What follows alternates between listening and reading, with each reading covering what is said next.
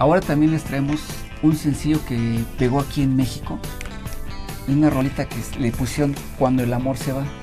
The Breakup Song, la canción de la ruptura. Era de una banda llamada Greg King Band. Ese es el sencillo, nada más trae dos canciones.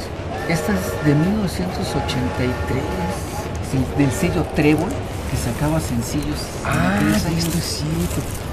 Hay discos de albures con este sello Trébol, pero sí, este, sacaron cosas muy buenas.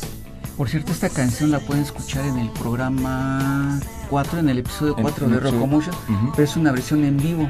La versión en vivo, ¿cuál es el detalle? Que, diga, diga, Que está, que está Joe Satriani como guitarrista principal con ellos. Años antes de que sacara, digamos, el, el- su, su- carrera solista y todo. este es el CD de Greg King, Ajá. Aquí está Joe Satriani, lead guitar.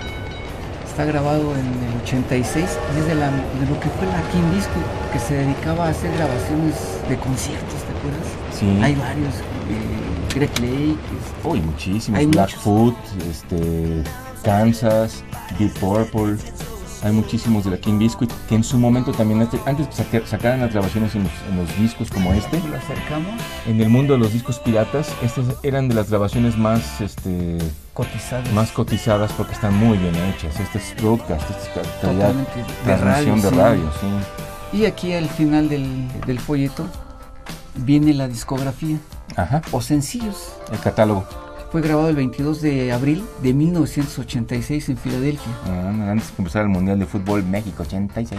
Y viene lo que son este, la discografía desde el 75 hasta 1994 Ah, caray. De todos los discos de Greg de Greg. King. Recomendable, viene un solo de guitarra de Satriani dentro de las rolas. No aparece en la discografía oficial de Satriani. Y bueno, pues eso es parte de las, de las cosas que tenemos aquí en Rocomotion.